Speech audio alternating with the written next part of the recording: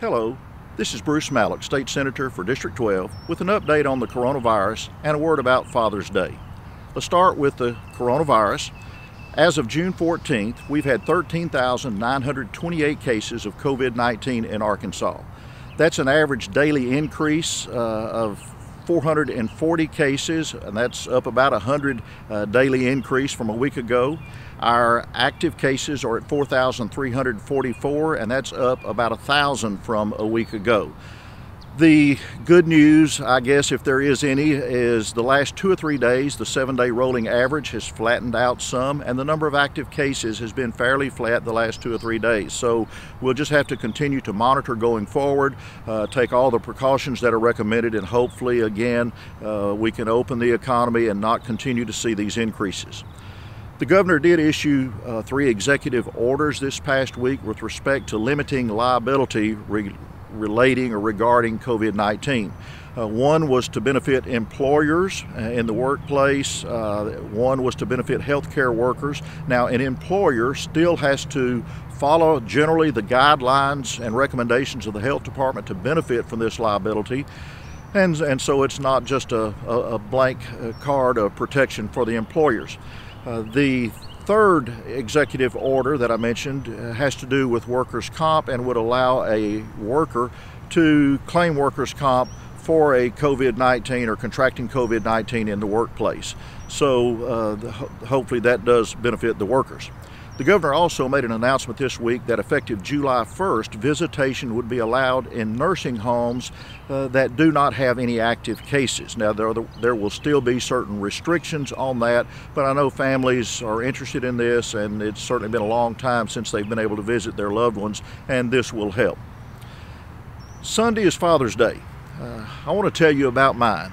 My dad was born in 1925 in a house on the farm that I now own. Uh, he came up through the Depression years, so they learned hard work. They learned how to be frugal. They learned how to make things for themselves and to repair anything uh, that was broken. My dad uh, carried those traits with him throughout uh, his life. Dad joined the Navy during World War II. He served in the Pacific Theater, and uh, like most uh, of that great generation, he wasn't a talker, he was a doer.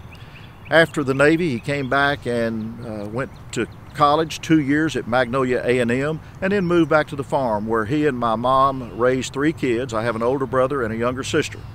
Dad farmed and then also uh, became a rural mail carrier while he continued to farm. The farm transitioned from cotton to cattle and hay in the early 1960s.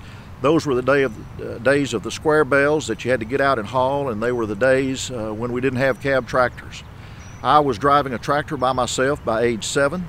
My dad taught me an important work ethic. He taught me responsibility. He taught me to make decisions. He taught all of us to treat each other others with respect, to treat people the way we would want to be treated, and he taught us the importance of faith and family. Uh, those are, are, very Im important traits uh, that I hope that I pass along to uh, my ch three children.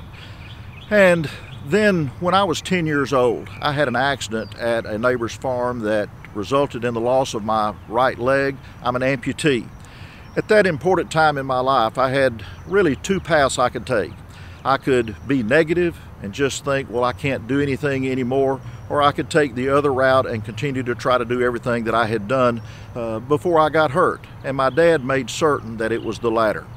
He put me back on that tractor. He put me back uh, driving the truck for the hay hauling crews in the hayfield. And then when I got older, I was a part of that hay hauling crew he uh, he had me to continue to do things and to uh, th- that I could do before, and he convinced me that I could do that. So that taught me determination uh, that has again benefited me for the rest of my life.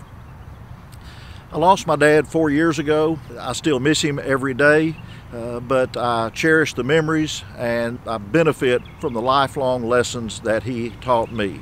So today I say happy Father's Day, Dad, and I want to wish all of the other fathers uh, happy Father's Day and everyone a good week ahead.